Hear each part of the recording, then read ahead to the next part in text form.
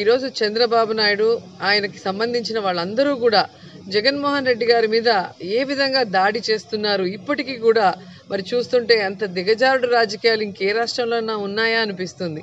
ఎందుకంటే గత ఐదు సంవత్సరాల చంద్రబాబు నాయుడు పరిపాలన మనం చూసాం. ఎప్పుడు చూసినా ఏడుపే. రాష్ట్రం అప్పుల్లో ఉంది డబ్బులు లేవు ఏం చేయాలి అని చెప్పి బాధలతో ప్రజల్ని మభ్యపెట్టి తాను మాత్రం దోచుకోవడానికి దాచుకోవడానికి ఈ రాష్ట్రాన్ని ఎలా ఉపయోగించుకున్నాడో మనం చూసాం.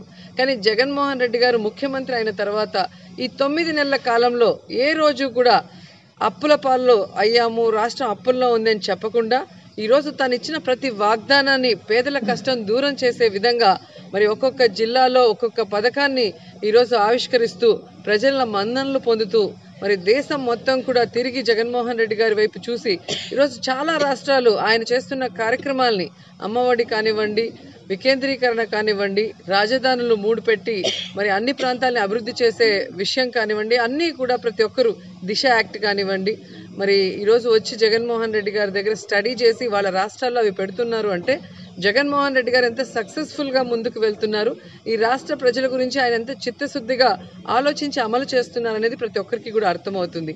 నిజంగా చంద్రబాబు నాయుడికి వయసు అయిపోయిన కాలంలో మరి దేవుడిని దర్శించుకొని దేవుడి సేవలో గనుక ఆయన జీవితాన్ని అలా కొనసాగిస్తే బాగుంటుంది కానీ ఆయనకి ఇప్పటికి కూడా కుర్చీ మీద ఉన్న ప్రేమతో ఏ విధంగా ప్రతిపక్ష నాయకుడా పనికిమాల నాయకుడా అన్న విధంగా మరి రోజుకొక కార్యక్రమంతో ప్రజలు చీత్కరిస్తున్నా కూడా ఇంకా ముందుకు వెళ్తున్నాడు అంటే అసలు ఈయనని ఎలా ఇన్ని సంవత్సరాలు మనం ముఖ్యమంత్రిగా చూసామనే ఆశ్చర్యం ప్రజలకే వస్తుంది.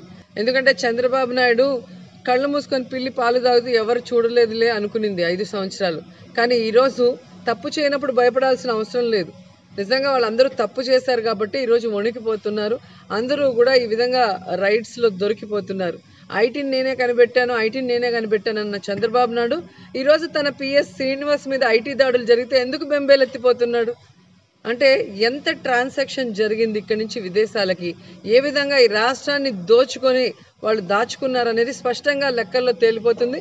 భవిష్యత్తులో ఖచ్చితంగా చంద్రబాబు నాయుడు లోకేష్ ఆయన క్యాబినెట్ అంతా కూడా జైలుకి వెళ్ళే రోజులు దగ్గరలో ఉన్నాయి.